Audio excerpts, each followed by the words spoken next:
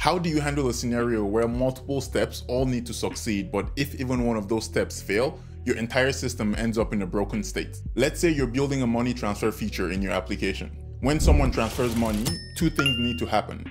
The amount needs to be deducted from the sender's account and credited to the receiver's account. These are two separate actions, but if the first succeeds and the second fails, maybe due to a network glitch or a request timeout, your system is now in a bad state. The money is gone from one account but hasn't shown up in the other.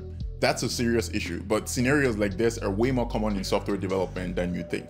The solution to making sure the system doesn't end up in a bad state is to think of the actions as atomic operations. Atomic operations ensure that a series of steps is treated as one indivisible unit. Either all of them happen or none of them happen at all. There is no in between. It's all or nothing. So how do you implement this logic?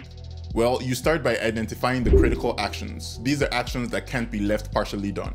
In a money transfer scenario, it includes checking the sender's balance, deducting the money, verifying the receiver's account, and then crediting the funds. Next, you group those steps into a transaction. A transaction wraps the steps together and makes sure they all succeed or the entire thing is rolled back. In code, you'd usually wrap this logic in a try-catch block.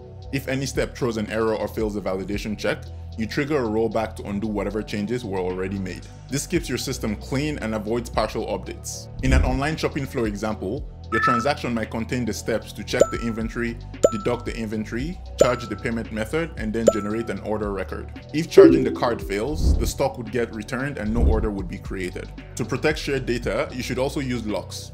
Locks prevent two processes from accessing or modifying the same data at the same time. This prevents race condition and keeps the data consistent. The final part of handling atomic operations is handling retries with idempotency. Let's say a customer's payment goes through, but the client doesn't receive the confirmation due to a timeout or a network issue. The client then retries the request again. Without idempotency, you might charge the card twice for the same order. But with idempotency, each request includes a unique token. If the system sees that token again, it knows not to repeat the action, it just returns the original result. When you put it all together, transactions, rollbacks, locks, and idempotency, you get true atomic behavior. Every step either completes successfully or nothing is applied at all. There is no in between. It's either all or nothing. Head over to umacodes.com for more in-depth courses, coaching, and more, and don't forget to follow UmaCodes for more programming videos like this.